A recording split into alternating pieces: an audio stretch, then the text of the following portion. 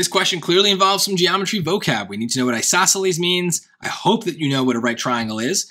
Um, so uh, let's take a look here. We would need to draw this. I would draw this, I guess, this way. An isosceles right triangle. So that means that the two sides are going to be, or the two legs, I should say, are going to be the ones that are congruent, right? So this and this are the isosceles triangle sides. Uh, now, the reason that that's important is we actually know how isosceles right triangles work because if those sides are the same, the angles opposite them have to be the same. Now, there's 180 degrees in a triangle. We've already got 90 taken care of by the right angle. That leaves 90 left. And 90 divided by 2 is 45. So we have a way to kind of solve this, right? So let me put this in. Um, let me put in the reference chart here. Paste. There it is, reference chart. And let's make it nice and big so we can really see it. Because um, I really care about this part right here because that is also an isosceles right triangle. And you can see there's a relationship between the s's and the s root 2's. So that's kind of how I'm going to think of this, is I've got my s, my s, my s root 2. I hate that they use s, though. It kind of bothers me because my s's look like 5s, but it's okay. Let's focus now on the other piece of information they gave us. The perimeter is 94 plus 94 root 2.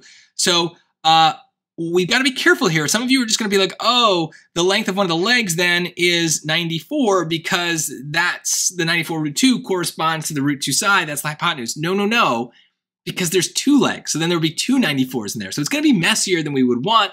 And it's a great example of like, know where you are in the test. This would be a question later. This might even be the last question in a section. So you should know that there's a twist. It's not going to be that simple. There's going to be something else to do, but it's still the same process. So just do the process. Um, so the perimeter of 94 plus 94 root 2 is equal to this. I'm to switch them to x's. I hate these s's. x, x, x root 2. So x plus x plus x root 2.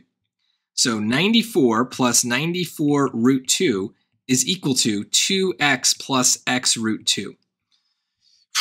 So that's kind of messy, right? Because we can see it now better, right? That 2x, if the if 2x is equal to 94, then x isn't going to be 94. So we, we got to solve it. And you can be like, oh, all right, that means that that 94 root 2 is somehow involved with the um, the uh, right triangle, and we've got to kind of work that back into the x. It's kind of going to be messy.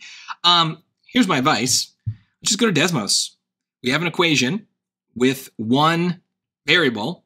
Let's just let it do it. So 94 plus 94 square root 2 is equal to, equal to, uh, we can just do, let's do it all the way back to basics. x plus x plus x root 2.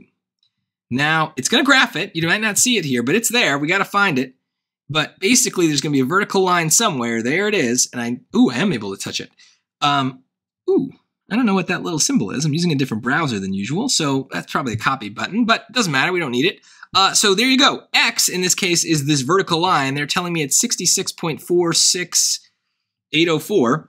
Now, I don't know what that is, but it's got to be one of these. So now it's just a matter of testing them, right? So I know it's not 47. I know it's not 94. I bet it's not 94 root 2 because that would be bigger than 94. So it's probably 47 root 2. But let's double check. Let's just put it in. 47 square root 2, 66.4, whatever, right? That's it, done. So, yeah, you could do this using algebra and software x, and, and maybe there's even a little bit of a guess and check involved here where, like, you can kind of just use the answers and be like, well, it's. I know it's not going to be one of the nice ones like C or A, and 94 root 2 wouldn't make sense because then that would be the hypotenuse of anything, but then you would need to double it. So, like, you can kind of just maybe see that it's got to be B um, almost in like a guess and check kind of way without actually doing the checking. But it doesn't really take more than a second to take that formula that we created and then to just put it in Desmos. Since it only has the one variable, Desmos is going to solve it by doing what it does for any kind of uh, equation, right? So this is a geometry question, but if we had a just normal XY plane question, it would be the same thing. Put it in, let it solve it, and it's going to give you a vertical line right through where the x-axis hits is going to be your solution. And so there you go. Much easier than doing it by hand.